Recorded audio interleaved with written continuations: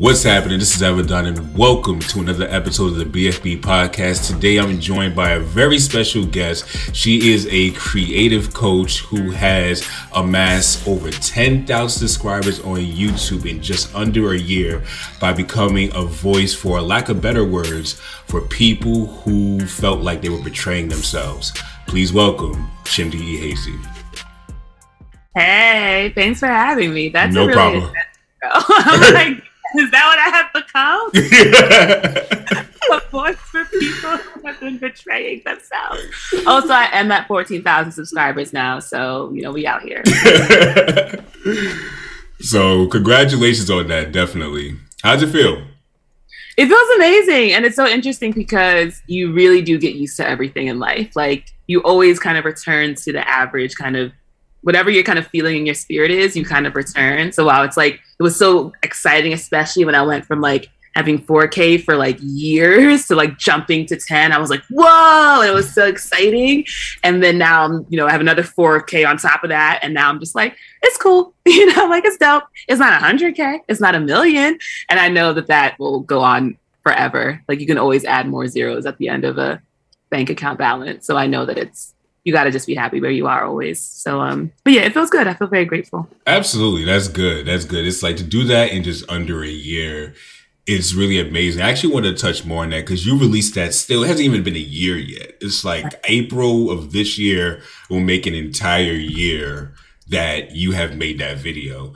And I just wanted to ask, like, what advice would you give to somebody who would just make that step you made over a year ago? Or what is some, I would say, some pitfalls you would even tell yourself to look out for in walking it's almost a year from now? Yeah. So I think the main one, and I continue to learn truly every single day, is that our life is ours to create. And so we can either be dragged along by it or we can like actively like stand up like that awesome meme and uh and decide what kind of life we want to have and walk into it confidently and i think when i look back at how i was when i was leaving that job it was because i was at that point of just real like burnout and frustration and like desperation and like sadness and despair and all these like intense words because I let myself be dragged along by life and I hadn't taken responsibility for my role in it. And now, as almost a year later, I have I'm experiencing what it's like to actually say, well, what do I want? What kind of life do I want to have? And understanding that it is my responsibility to create it. And if there's things, meaning um, usually fear, keeping me from from going after something, it's my responsibility to let myself confront. And you know, confront I think has an aggressive connotation. So maybe even just meet with, you know, and hold space for that fear, and let that fear have a voice. And not think that um, because it's something that I don't want, it's not a part of me. Um, a lot of the healing I've been doing recently has been like when I want to go after a new job or do something cool or a new creative project. Um, and that's there's that voice that's like, you're not going to get it and you're not good enough for it and they're not going to pay you that amount of money. You're not worth that. Instead of being like, shut up, shut up. I'm like, okay, who's who's saying that? And like give that small, usually like three year old version of Chimdi a voice to actually say like what do you what's tell me what's going on right now. And holding that space has been a game changer. So um, i think if you're at a point where you are going to quit something that doesn't serve you anymore i think understanding that you know there was a reason at the time it was something you decided to do. And the way you create a life that you really want is by lovingly pulling in that part of you that thought it was a good idea at the time and say, hey, what was going on there? So that moving forward, you can make choices that are just way more aligned and just leave you with a lot more happiness and joy. And it really is way better when you do it that way. But be prepared because, like, yeah, if you if it was easy, you would have been quit, right? So um, just prepare yourself for that for that spiritual journey. Definitely, thank you for sharing because it's taking that leap of faith could definitely be um, for lack of a better word, scary, especially if you don't have a safety net of a another job to go to. So it's is definitely something that I would say was very honorable, and I do appreciate you creating a place of vulnerability, spe- creating a video from vulnerability, and using that as a superpower to help people realize, you know what, it's not so bad, mm-hmm. because you know, as you said, it's like you said this in quite a few of your videos. Like a lot of these um, employers, they lie about you know the wages and how much they're willing to pay you. One of the things I've often tell people is, uh, interview is a negotiation. Mm.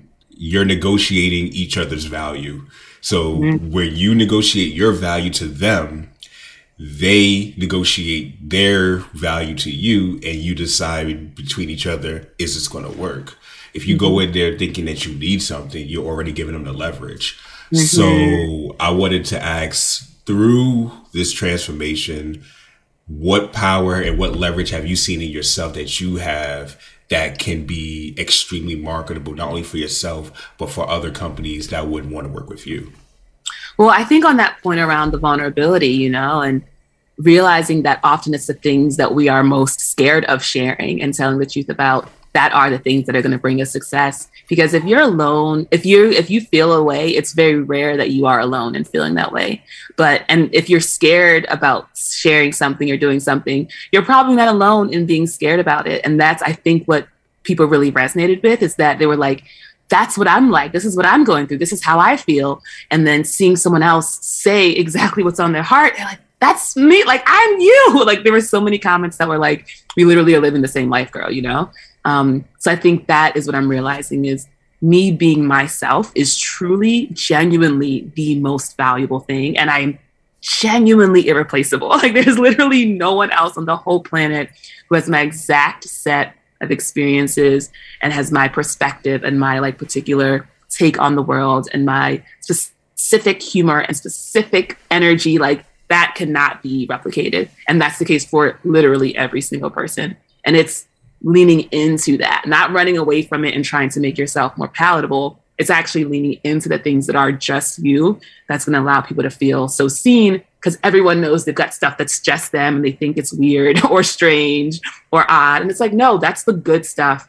And it feels amazing to see someone being themselves because it makes us feel like, oh, okay, then I can be myself as well. So that just vulnerable vulnerability, that honesty, um, I feel like we talk a lot about, you know, being authentic a lot in cultural and, and social media spaces, but it really does come down to just being yourself. Because on a very like deep, energetic, spiritual way, we know in our heart when something's fake. Like we know, and it doesn't feel good, and it feels a little bit like an insult when someone is not being authentic towards you because it's dishonoring the truth of your soul, right? So um, that's what I that's what I think I'm bringing to life and to my work and to my creativity.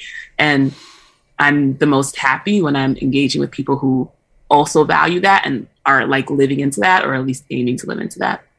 Okay, perfect. So with this, um, it brings me to where I really wanted to um, talk to you about on this um, episode, and that's this has definitely had impacted you financially in many different ways.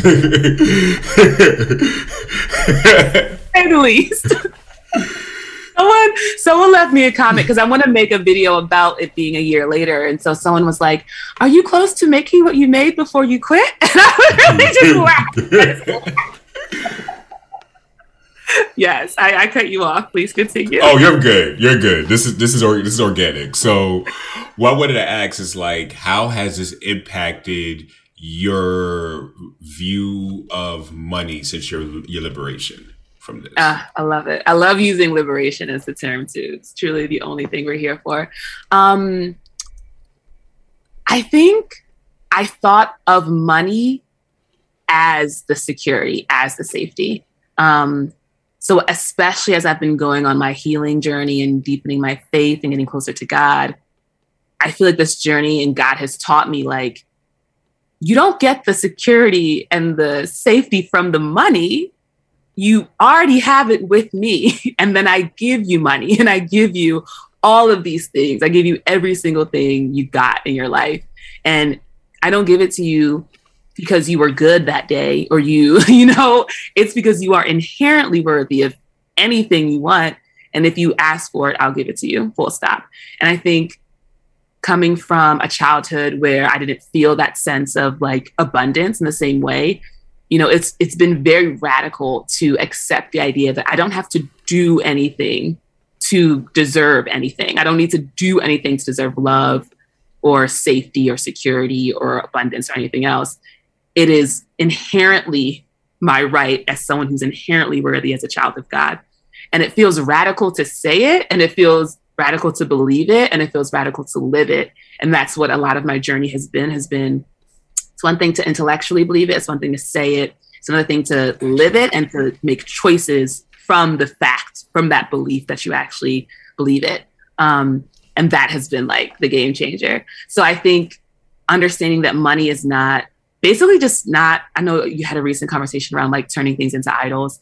Um yeah money is not this idol to be worshipped. It's not the end all be all. It's not the source of happiness and success. It can give you access to these other things but it in itself it's not holding you don't hold the paper in your hand and you're like here's the paper. I'm happy. And if anything if you do because people are always like money doesn't buy happiness. I mean but it does buy blah blah blah. And it's like think about it. If the difference between you feeling happy is holding paper in your hand. Doesn't that mean that the happiness is actually inside of you all along? And it's just a matter of you switching it on and off in your brain. Um, there's like a great story I read somewhere about like, um, I think a man is like, uh, I think there's like a beggar on the street, and there's like a man who like comes by in his like, you know, chariot or whatever, and he like hands the man like a, a gold nugget and it says like, oh, this this is a gold nugget. Like you can mm-hmm. take this and you know here here's some money. So with that gold nugget, that man just like goes off and with that new confidence actually like starts businesses and creates all this stuff. And then now he's the one in the chariot. And then he goes on along and he sees a beggar and he's like, hey, here's this gold nugget. If you take this, you know, you'll be successful. And instead of kind of taking the confidence, the man just goes to like exchange it for money and finds out that it's actually just like gold plated rock or whatever. Like it didn't actually have any inherent value. It's just the value that you bring to it. And I think, especially as I've been thinking about how do I get this money so I can do all these nice things and have all these, have a nice apartment and blah, blah, blah, is realizing that it's not about any actual physical finite object. It's about my understanding of my own worth. And do I believe I have something to give? I have a way of serving. I have something that people would be gladly, like they would gladly exchange their money for a coaching call with me or for, you know, some advice or for some like community engagement um, or for voiceover work, like whatever it is. Like, do I believe that, like, yeah, no, this is, this is, this is worth it. Like, you're going to get a good deal. You could be happy um, to get this. And I think growing up and up until very recently, I had that mindset of like, capital capitalism is inherently a scam. That you can't be a good capitalist. There's no such thing if you have a if you have something that you're selling to someone else for money there's evil in there somewhere. Someone is being exploited. Like it didn't occur to me that like no you can just be giving someone a service and they want it and so they give you money. And i was like it, it really blew my mind when i understood that. So that's been a major thing i've been like healing around. Definitely. It's and i love the fact that you mentioned it's like safety and security comes from the lord. And it's like you many cases you touched on a key point is one thing to intellectually believe that to well, excuse me let me, let me rephrase this. Is one thing to intellectually know that it's another thing to actually believe that. And i'm i switched up the word usage because to believe from what i understand is to actually do. Believe mm. is an action. If if i believe i use this analogy all the time if you tell a child that they are going to Disney World and they believe it, what are they going to do? They're going to pack their bags prior. Why? Because they are prepping. With belief comes anticipation and a form of expectation. So, because of that, when we live our lives fully believing in God, it's like we need to learn how to anticipate and expect that no, He will provide, not that He might, He will and mm-hmm. that's been a that's been something that has been a struggle for me to believe sometimes because um, culturally we've been created to be our own guys and provide for ourselves for so long. Mm-hmm. It's so hard to just let go and be like, you know what, you got this. I'm taking my hands off the wheel. Not going to tell you to dictate. You got this.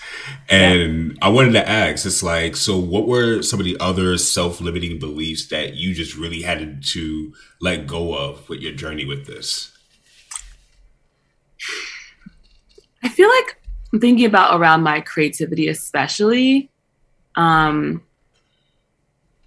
is that I had to make sort of like the shiniest, most highly edited YouTube video with all of the right SEO tags and the right title and thumbnail and everything has to be, you know, everything has to be following all the rules of YouTube in order to be successful. Um, there was a part of me that knew that wasn't true, but didn't believe it. Didn't fully believe it to the point of action. And so I would try to be a version of myself that I thought would be good for YouTube. Um, and it was the process of getting burnt out on doing it that had me, okay, let me just tell tell my story and just throw some b-roll on it and keep it cute and keep it simple and have faith that and not even and that's also another one is like releasing the expectation. Not even thinking like oh this is what's to like resonate with so many people but this is what i have to say. And i'm just to say it and that's that. And if people if it resonates with people awesome. If not that's cool too. This is what i've got. And like having the video i made about quitting my job be so successful felt very much like an affirmation of, yeah, you don't you do what you want to do. Like I like making videos where I have like I'm out in nature and I have this gorgeous B-roll and it's very beautiful and flowy and nice. Like I really enjoy doing that. Um, and sometimes I just want to sit and talk and just be like, here's what I'm going through. Here's why I stopped smoking weed, you know, and just talk about that. And it tends to be the stuff that isn't that I'm not in my head about. Like I'm in my heart about it. I'm in the spirit about it. That's the stuff that really resonates. So realizing, as you said, like it's not it's not on me to fulfill my dreams. Um, someone left a comment on uh, I think it was in my Patreon where I was talking about you know affording living in New York and stuff because that's where I want to move. And someone said, um, if it's God's will, then it's God's bill. And I was like, mm, I like that. like it's something. Isn't that a good one? Bars. I like it. it's like if God's putting something on your spirit, God's got it, you know. And one of my favorite things about the Bible is that there's so many stories of God coming to people and being like, all right, listen, I need you to like go over here, free all these people, lead them to a new land. And that person's like, mm, I really would love to not do that. And maybe someone else can do it. And God is like, it's not about you. I am doing it. I just need you to you be the one to like do the thing. And they're like, but I mean, I'm not really a good, I'm not a good talker. I'm not really, and they're like, it's not, God's like, I've got this it's not about you, it's about me. And I also heard something a while ago around like you want to live a life that you want to you want to dream and you want to think about like a life where look someone looking at it would be like how did how did you manage to do this? So that you can say yeah it wasn't me it was god. This is not my hands. This is what god can do in your life if you allow god to do it. Um, and that has really stayed with me. Um, so yeah, those are some of the few has been like thinking I need to be the one to do it all. And I know that's a function of trauma now, like thinking that um, if unless I am taking care of it, it's not going to happen. It's not going to get done. I don't feel safe or comfortable relying on someone else or asking for help. I know now that like that's because of trauma, right?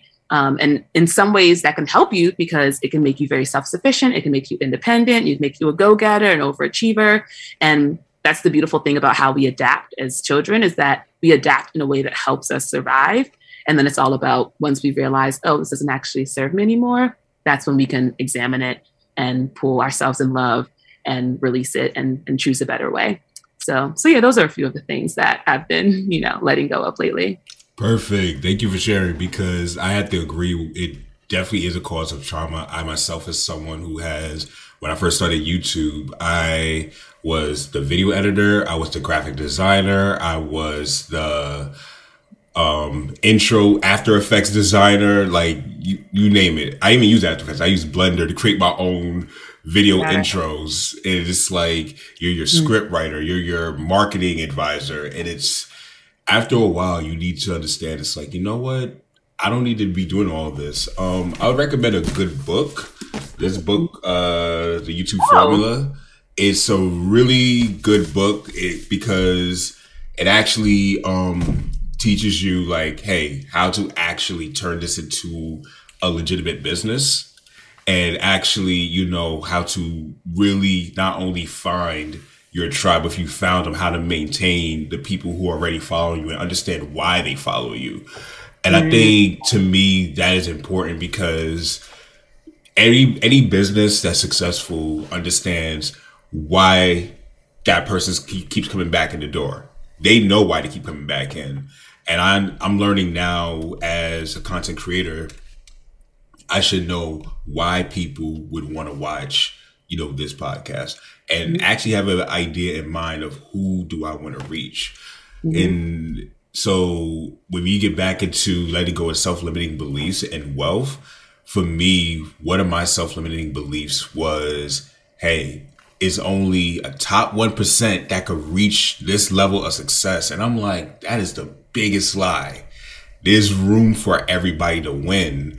And it's a form of trauma to shift blame onto somebody else to say, hey, I can't be here because it's reserved for this echelon of people. Like, no, mm-hmm. no, it's that I've come to humbly accept. No, I just haven't been doing the right things for me and understanding what works best for me to be successful and in that same area. But um I wanted to even go into. you well, I'd love to. I'd love to talk about that a bit because one thing I have been thinking about is how I'm contextualizing my role on Earth. You know, and I don't think I do necessarily think of it from a business mindset. Um, I started doing like getting into breath work lately, taking the deep belly breaths. And one thing um, Scott Schwenk said, who I was like uh, listening to support that, was around like someone asked him like what do you think the purpose of life is basically? And he was saying you know it's love. Like as far as he's concerned it's just comes down to love. Mm-hmm. and he was like if it's not love then what are we doing? More buying and selling? And i was like that just perfectly sums up like what a lot of our time is spent doing is either buying something or selling something. And when i think about youtube i think of myself as someone who creates videos on youtube. Um, but I don't think that's my purpose. Like, I don't think my purpose is about creating videos on YouTube or even building up a like successful YouTube channel that has all these millions of subscribers. I really feel like my purpose is to enter closer and closer into relationship with God, to show up more authentically in my own life. I love sharing my story of doing that, and that attracts people who want to hear about it in via video, but also in real life and in conversation and as I just move through the world. So I think that's why I have a bit of a I think I'm still there's a bit of uh there's there isn't clarity for me around what does it actually mean for me to grow a YouTube business because it's not about like because I do kind of think it is straightforward when it comes to making a YouTube channel. Like we kind of know what people like, and you really just have to decide do you want to do the formula and I know for me, the reason why I haven't reached like, haven't had even more growth is because a part of me really resists doing the formula because I know it's not a, like inherently being more successful on YouTube will not get me closer to my ultimate goals. Um, so that's why I, so I'm, I'm, so I'm interested in that book, but I'm realizing there's a part of me that still has a bit of resistance around like the respect. business side of it. Yeah.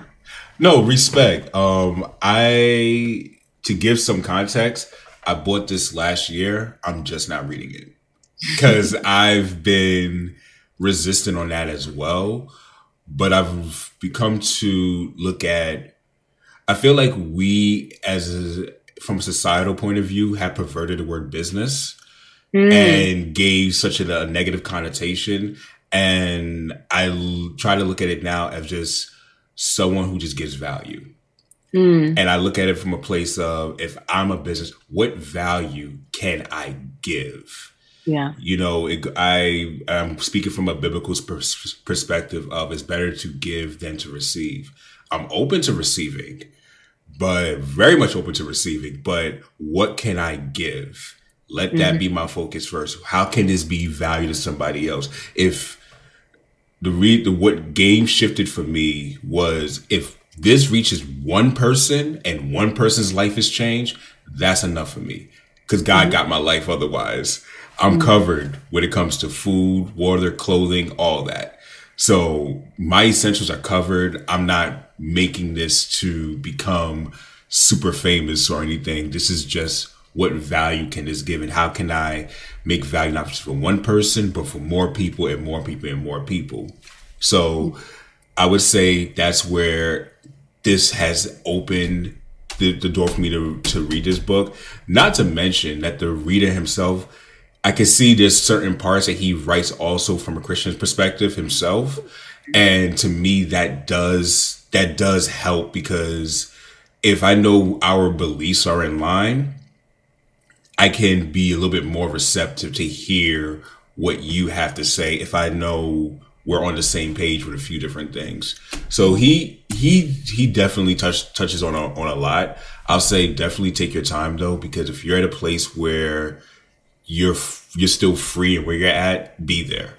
I yeah. always tell people it's like don't rush where you're at. Don't rush the, the process.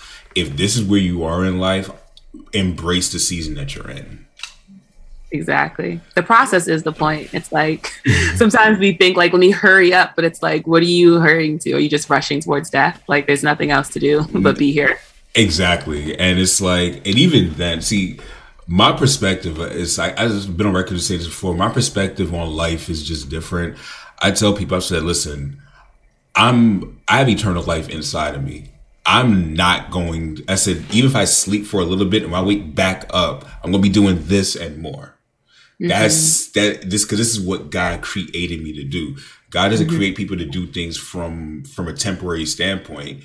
He's saying like, okay, do this now, and then when our this new heaven, new earth come, you're still going to be doing this, but more responsibility. So I'm like, let me build towards that. So I mm-hmm. work from from a place of, is this going to be built from a place of life beyond this point?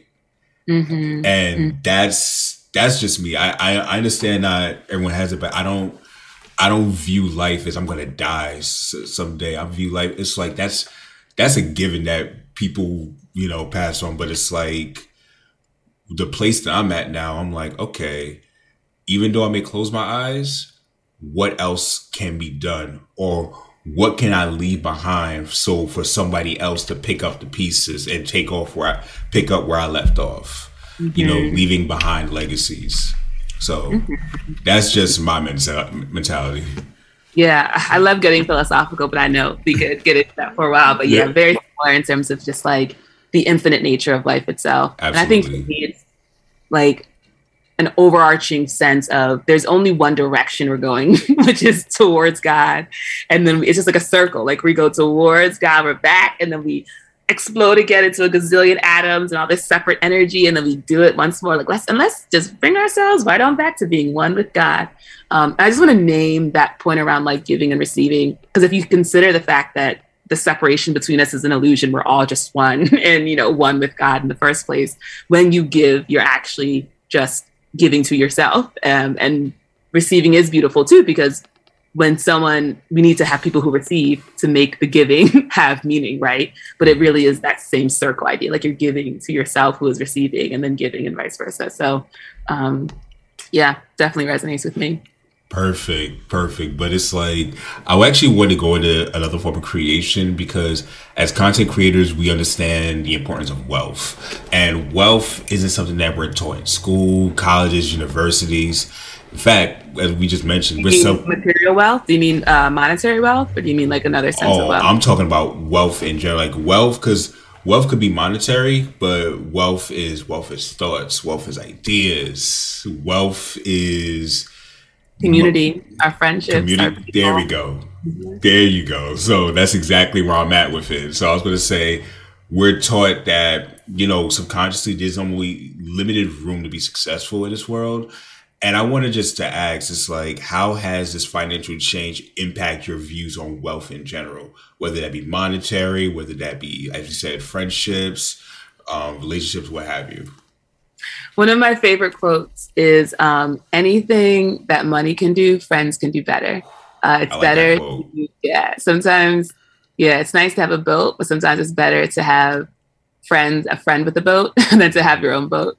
Um, so I think that's been one of the main things is just realizing that, realizing for myself what I am doing and how I am being when I'm feeling deeply joyful, deeply peaceful, deeply fulfilled and creating a life where that is what I spend my time doing. Um, a friend told me the story about like uh, there's this like businessman who like goes out to the sea and there's like a man he's like a fisher a fisherman who's working there and the, the businessman's telling the fisherman like here's how you can like turn your your love of fishing into a business and then you can like get all these clients and blah blah and the guy's like um okay so then well so say i did all that and had all this money then what would i do well the guy's like well then you can retire and then he's like okay so what would i do when i retire whatever you want to do and he was like so fishing which is what i'm doing now and just this idea of like sometimes we think we need x to get to y and actually we have genuinely everything we need in this moment, in this abundant moment. We have everything. And it's the lie to think, oh, I got to hustle and I got to do this and that. And once I put up this next video, then I'll get to this space. And then once I move to New York, then I'll have access to the creative community. And that way I'll be, and it's just like, you don't need any of it. You're good. Like you literally have it all right now. So I think realizing that wealth truly is a mindset. You know, I think sometimes people who um, are more tied to like material, their physical existence, kind of see things through the lens of what is the food on my plate? Do I have electricity? Do I have a roof over my head? Do I have clothes on my back? Mm-hmm. And that being their marker of um, of abundance. Um, and I fully understand how if you don't have these like basic needs being met, it can be hard to think more esoterically and philosophically about all these different things.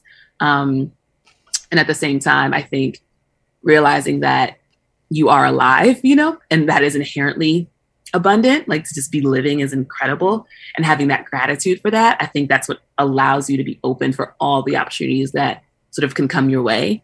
Um, I had someone ask, sort of once I when I quit, did I know about all the different things that I would be able to do that would get me money? And I had a sense of some of them, but no, but I was open to it. And because I was open to it and because I was, was like, yeah, I'm interested, people who were like, oh, well, I have this opportunity, they were lined up to give it to me. Um, and so for me, when I think about how I, when I feel the most, when I feel the most abundant, it's when I am creating, it's when I am dancing, it's when I am in nature, it's when I'm with my friends, it's when I'm having dope conversations like this. Like that is when I feel the most rich.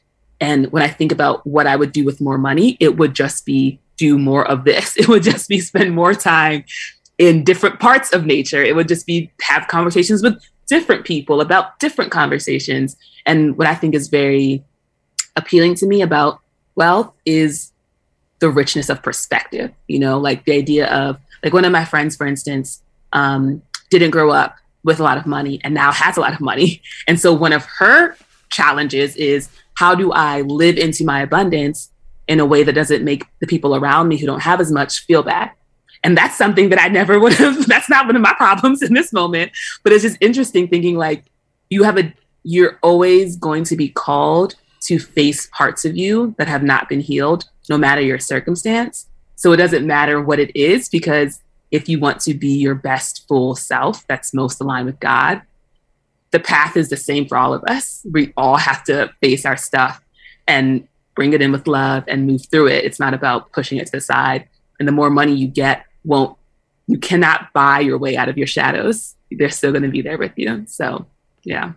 I get it. It's like it's a saying that as you were speaking, it was a, it's like a saying came to my head, and it's grind without intent, intention leads to destruction. Mm. And it's like when we are consistently grinding with no intent on where we're going, it's just, well, for lack of better words, we are destroying ourselves. And you're right. It's like you have to understand. It's like you have all that you need already, but the act is what you said earlier. Does having, for lack of I actually have money right here in front of me. Does having this in my hands just change how I feel?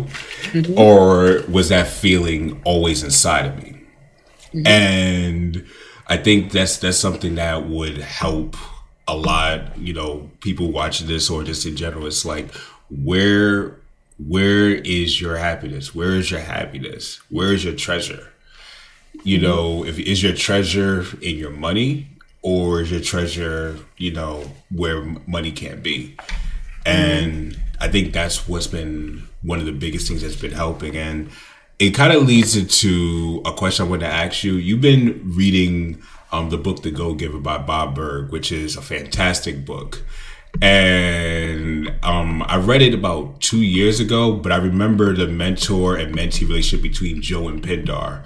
And I wanted to ask you, do you think that sort of dynamic of mentor and men- mentee and mentor is essential for one's personal life journey?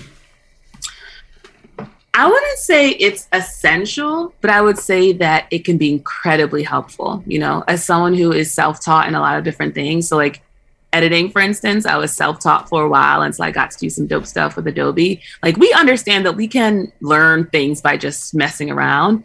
But when we have a YouTube video that explains something and saves us 20 hours of our life, we're like, yes, thank you. and then, so I feel like we know how it's just that it's like, it's just a fast track towards getting to our goals when we have somebody who can help us out, um, especially when it's a genuine relationship and it's not just a, um, like a YouTube video, for instance, where you just go and you like some of it's applicable, some of it maybe isn't. It's so different when you have someone who's like who's there with you and In they really time. are holding space for you and they really get it and they are tailoring their support and guidance to exactly where you are on your journey.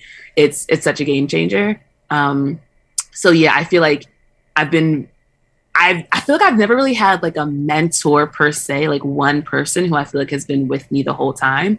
But I feel like I've been really blessed to be in different communities and different groups and have people within those groups. Like Adobe is one, for instance, and I wouldn't have been in like creator camp if it hadn't been for Halise. So her leadership, both just her being who she is and then her very literally like inviting me into the program has been incredibly expansive for my creativity. So I do feel like it's, and that just speaks like that people being the greatest resource, you know, and that being one of the major ways I believe God blesses us is through other people. Um, so yeah, I, I actually I'll, I'll, send it out to God. God, I would love just a particular mentor who's like, hey, Chimdi, let me teach you some things. That would be awesome. And I know asking you shall receive. So I expect in one to two business days to get an email from someone who's like, hey, girl, I got some feedback for you. Um, but yeah, definitely, it can it can really just fast track things in a major way. Definitely. I'm to keep you posted if that happens. Cause, um, but definitely, I, I definitely um, appreciate your answer on that. And it actually just leads me to ask do you see yourself, let's say, future Chimdi down the line? You've obtained what you envisioned and everything that God has for you. Do you see yourself being in the same place as Pindar and taking on mentees to help them unlock the greatness in themselves? Well, one phrase I've heard that really resonates with me is the idea that if your vision only includes you, then it's not big enough. So I feel like my very purpose is one of being in community and being one of like conversation. And like I I think the way I'm wired, especially around how I like to have conversations, is very specific and it speaks to my purpose because I really do love to hold space and to just like ask questions and to dig and to like encourage and support. And so it's, I think it's inherently a relationship based purpose that I have.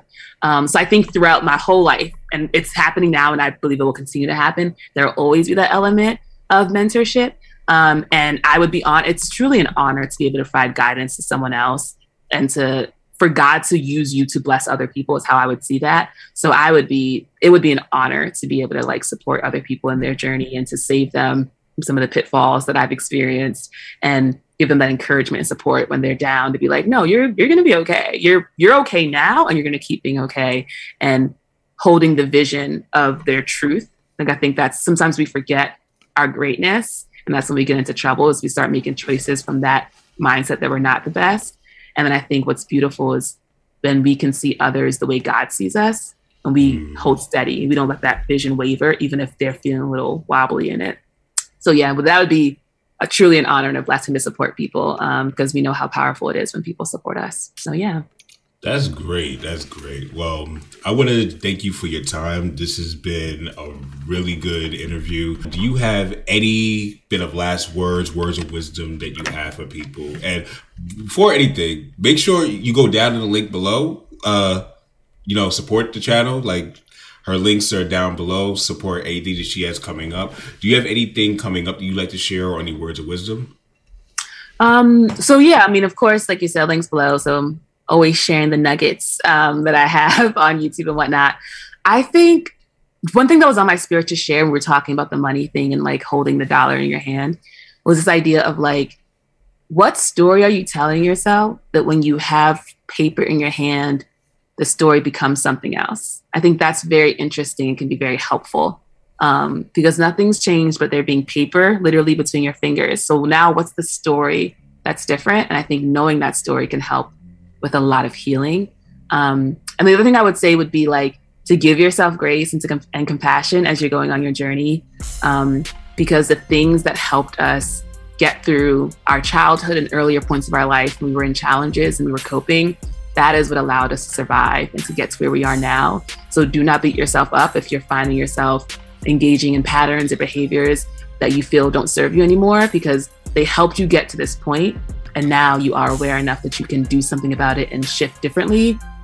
But do not beat yourself up. It doesn't no one wins when you are unkind to yourself. Like you're great you know? So that would be the main thing appreciate it appreciate it thank you so much for your words of wisdom thank you everyone for watching we're to go ahead and wrap this up as always you all know it by now.